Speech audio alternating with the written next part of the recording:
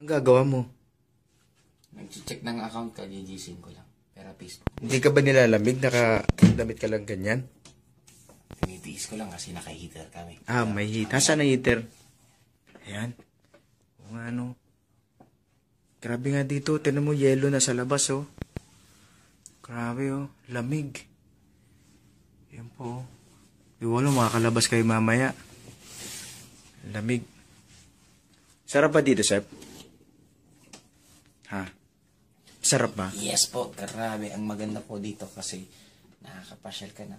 Pwede ka pa mag-networking. Ibang networking, ano? Mm. Ano masabi mo sa mga nagsisimula sa networking? Umataw lang kayo ng tuloy-tuloy para pagdating ng oras, nararanasan namin maranasan mo. rin. Tama eh. Batiin mo mga taga-Empire. Hello po sa lahat ng mga Empire member.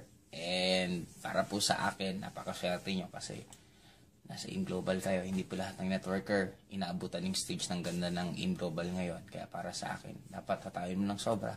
Kasi you'll never know kung makakaulit ka pa ng experience ng nararanasan mo ngayon sa stage ng In Global.